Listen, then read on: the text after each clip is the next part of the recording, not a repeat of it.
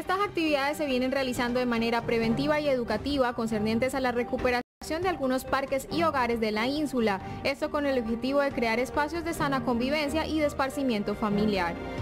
Policía Nacional, gracias por ayudarnos a pintar la casa y a limpiar el patio y a también ayudarnos a limpiar el parque para los niños puedan jugar en la comunidad. Gracias por todo. Familias del barrio Courthouse tuvieron labores de aseo, ornato y embellecimiento por parte de los uniformados que de manera comprometida se pusieron la camiseta para así recuperar este importante espacio que aglomera no solo a niños, sino también a niñas y adolescentes, también a familias enteras las cuales se encuentran en dichas zonas.